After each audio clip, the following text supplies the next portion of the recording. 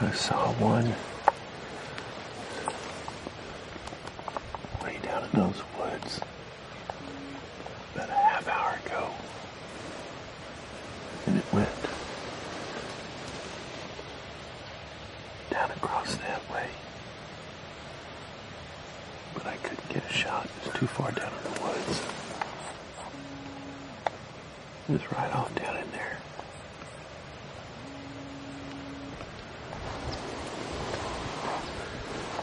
They'll usually cross right around in here.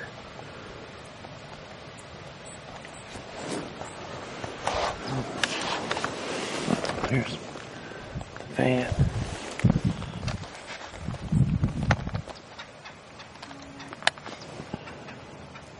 There's Matthew. He's looking out over that area there. We've heard a lot of shooting.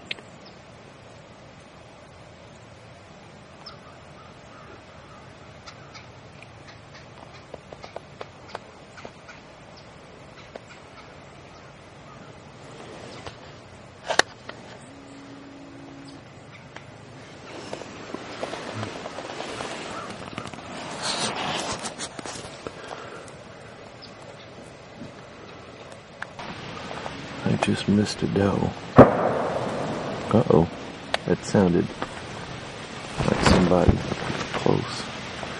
It was right up there, right next to that big tall tree, right along the edge. And when it turned broadside, it took a shot. And it ran right toward me. Got to there, and it was fixing across the fence. And I shot again. Missed. I think I missed, I don't know about eight minutes later, either the same deer or a different one came out across the fence, ran into that patch of woods there, and then on up there by where that cow is and stood broadside and then ran, kept running. They're moving. If I get another chance.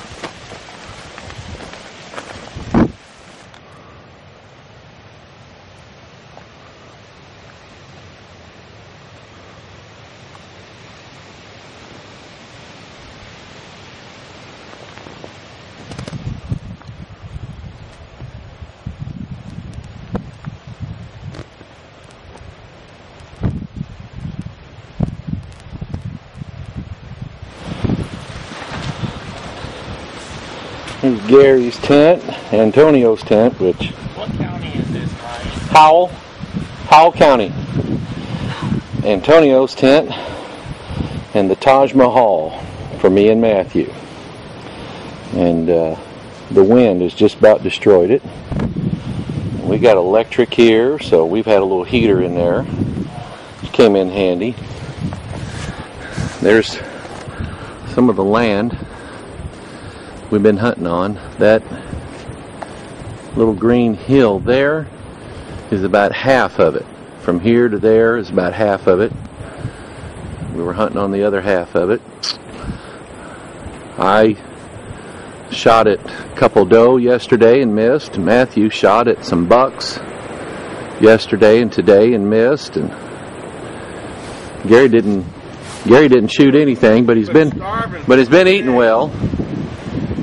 Yeah, starving for two days. yeah, roughing it. And now I'm finally having breakfast. First, So- first food in two days. Yeah. Well. Here's me. Should I leave that on there? Uh, I don't think so. Did you get clean, Matthew? Yeah.